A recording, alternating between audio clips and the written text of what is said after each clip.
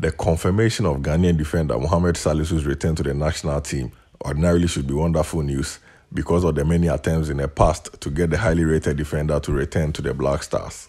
But will it all end well for Mohamed Salisu and the Black Stars, or is there the potential for trouble ahead? First off, let's begin with some background. Mohamed Salisu has consistently refused to play for the Black Stars over the past couple of years for reasons he has failed to reveal to the public. The most prominent amongst many rumors suggests that he was badly treated by GFA officials in times past and so decided to never play for Ghana again.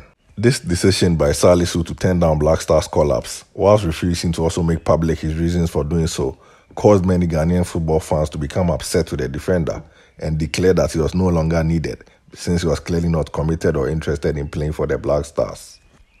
According to these fans, enough time and energy had been spent on trying to get Salisu to change his mind, and it was time to forget about him and focus on the many capable defenders who were willing to play for Ghana. These fans said there was nothing extraordinary about Salisu, with Alexander Djiku and Leicester City's Daniel Amartey excelling in the World Cup qualifiers. So now, with Salisu changing his mind and agreeing to return with a few months to the 2022 World Cup in Qatar, what happens to all the bad blood that has been caused by his past rejection of call-ups and worsened by his decision to keep silent on the reasons behind it? What happens when Salisu gets to start ahead of any of the two centre backs who qualified us to the World Cup? And more crucially, what if he is unfortunate to cause any error that affects Ghana's chance at the World Cup?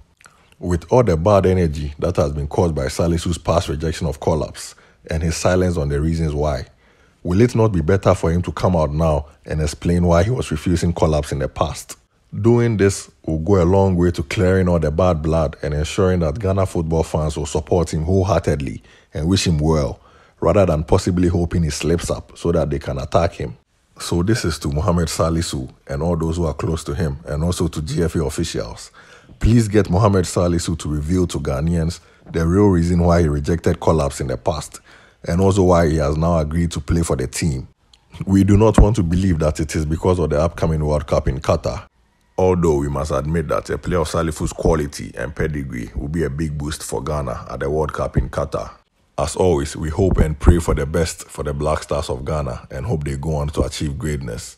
If you like this video, please do take a moment to hit the subscribe button and leave a comment if possible. Thank you so much for watching.